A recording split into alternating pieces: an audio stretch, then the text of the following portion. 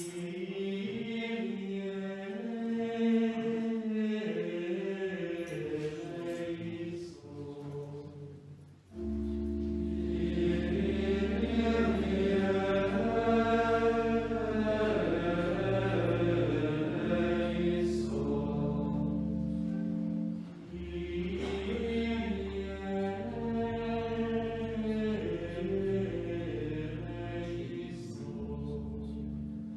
Kto przypływa do Pragi, stolicy Królestwa Czeskiego, niech nie zaniecha obejrzeć wspaniałą katedrę, której znajdują zwłoki świętego Jana Nepomucena, złożone w srebrnej trumnie, jako też boczną kaplicę poświęconą czci świętego Wacława Króla.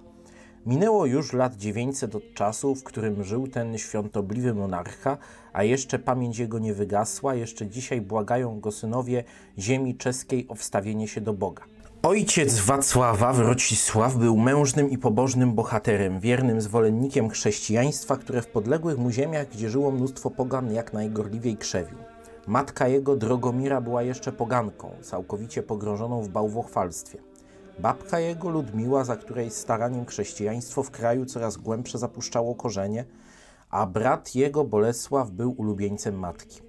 Poczciwa i bogobojna Ludmiła lubiła młodziuchnego Wacława, chłopczyka o niebieskich oczach i kędzierzawych włosach i starała się wychować go po chrześcijańsku jako przyszłego następcę tronu. Nie sprzeciwili się temu ani ojciec, ani matka Pacholęcia i powierzyli go Ludmile, która wraz z pobożnym i rozumnym kapłanem Pawłem obeznała Wacława ze świętymi tajemnicami wiary Chrystusowej i początkami nauk. Miękkie i dla wszego dobrego przystępne serce Wacława było żyzną rolą, wydającą obfity plon, a Ludmiła doczekała się niezadługo pociechy, że młody Wacław wyrósł na młodziana według serca i woli Bożej. Jeszcze nie doszedł Wacław męskiego wieku, gdy go ojciec obumarł. Wrócisław mianował go swym następcą, a Ludmiłę zawiadowczynią państwa. Chciwa rządów Drogomira, zaślepiona w drugim synu Bolesławie, którego wychowała na bezbożnika, przywłaszczyła sobie przemocą zarząd kraju, aby później osadzić na tronie Bolesława. Dopóki żył mąż, musiała się taić ze swym wstrętem do chrześcijaństwa, ale po śmierci Wrócisława puściła cugle swej nienawiści. Z jej rozkazu zburzono wszystkie kościoły, a kapłanów porozpędzano na cztery wiatry. Wielu wiernych obstających mężnie przy wierze Chrystusowej poniosło śmierć męczeńską. Ze łzami w oczach patrzyła w bogobojna Ludmiła na te bezprawia, aby im zapobiec namówiła młodego Wacława, aby pochwycił ster rządów. Skoro oświadczył, iż gotów jest przychylić się do jej żądania, oświadczyły się za nim stany krajowe, a naród cieszył się, iż wydobędzie się spod jarzma Drogomiry. Zawrzała w Drogomirze niepohamowana nienawiść i żądza zemsty przeciw Ludmile i Wacławowi. Pewnego dnia stanęło w zamieszkanym przez Ludmiłę pałacu dwóch pogańskich magnatów, wysłanych przez Drogomirę z rozkazem jej zamordowania. Gdy wszyscy byli we śnie pogrążeni, wemknęli się skrytobójcy do kaplicy pałacowej i zadławili staruszkę u stóp ołtarza skręconą na powrót zasłoną w roku 928. Czesi czczą ją dotychczas jako świętą. Przerażenie ogarnęło Wacława, gdy go doszła wiadomość o zamordowaniu babki, a boleść jego była tym większą, gdy się dowiedział, że własna jego matka jest sprawczynią skrytobójstwa. Serce jego pałało miłością Boga i bliźnich. Wzorem jego był Zbawiciel, w jego ślady wstępował, jego wielbił w sakramencie ołtarza. Jemu oddawał cześć podczas ofiary mszy świętej. Własnymi rękami siał pszenicę, z której wyrabiano mąkę potrzebną do hostii przenajświętszej. Własną ręką zbierał podczas żniw pokłosy i grona z winorośli i wyrabiał chleb i wino używane w ofierze świętej. O północy, często wśród najsroższych mrozów, wstawał z łoża i chadzał do kościołów, w których przechowywano sakrament przenajświętszy, aby się pomodlić za siebie i swych poddanych. Dusza jego płynęła tak mocno miłością Boga, że żar ten udzielał się jego ciału. Pewnego razu szedł boso wśród trzaskających mrozów w ciemną noc do kościoła w towarzystwie sługi.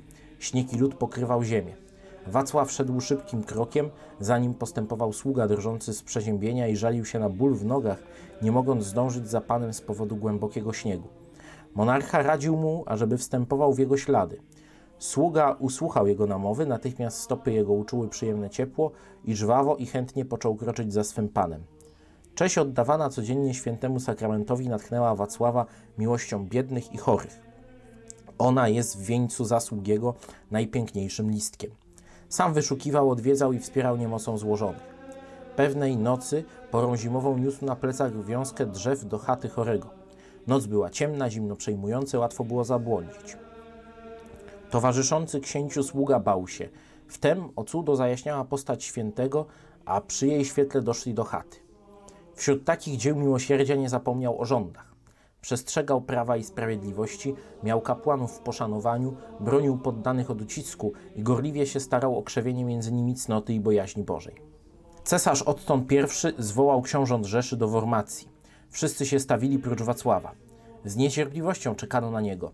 Gdy się nie pokazywał, powstał szmer niezadowolenia i odezwały się głosy, aby go nie powitać, gdy przyjdzie i nie dopuścić go do należącego mu miejsca. Tymczasem poszedł Wacław do kościoła na mszę i modlił się gorąco. Po mszy udał się do sali sejmowej.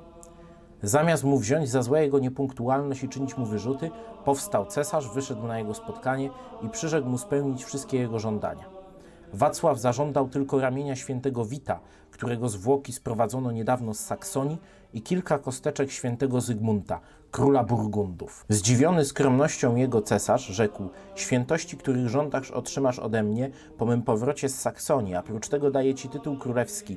Zwalniam cię od daniny, jaką dotychczas składałeś, i pozwalam ci umieścić na chorągwi orła cesarskiego. Zadowolony relikwiami, Wacław nie przyjął tytułu królewskiego i kazał się nazywać tylko księciem. Wróciwszy do Czech, kazał wybudować okazały kościół i złożyć w nim relikwie świętego Wita i Zygmunta, jako też spuścić do grobu w kościele świętego Jerzego nieskażone ciało świętej Ludmiły. Ponieważ w całym cesarstwie panował głęboki spokój, Wacław oddał się całkowicie modlitwie, rozpamiętywaniom i pokucie. Już nawet myślał o złożeniu korony i wstąpieniu do zakonu benedyktynów, gdy wtem zaszedł straszny wypadek, który uwieńczył skronie jego koroną niebieską. Żyjąca przy bezbożnym synie Bolesławie Drogomira czyhała na sposobność, aby popuścić cugle swej nienawiści przeciw Wacławowi. Sposobność ta nastręczyła się, gdy Wacław ujął się za kilku poddanymi, doznającymi strasznego ucisku od swych panów. Urażeni jego wdaniem się magnaci spiskowali z Drogomirą i Bolesławiem na jego życie. Bolesławowi urodził się syn. Zaprosił przeto Wacława do siebie, aby go pod zasłoną przyjaźni zwabić i zgładzić. Domyślał się święty grożącego niebezpieczeństwa i przed wyjazdem wyspowiadał się i przyjął komunię świętą. Nie mając upodobania w biesiadach, wybrał się do pobliskiego kościoła na modlitwę. Spostrzegłszy to Drogomira, dała Bolesławowi znak, że już czas wykonać krwawy zamiar. Bolesław pobiegł z kilkoma siepaczami do świątyni, padł na bezbronnego brata, przeszył go na wskroś dzidą, tak że krew obryzgała ściany, a Wacław padł nieżywy. Stało się to dnia 28 września 938 roku. Morderców świętego króla dotknęła pomsta Boża. Wszyscy zginęli marną śmiercią.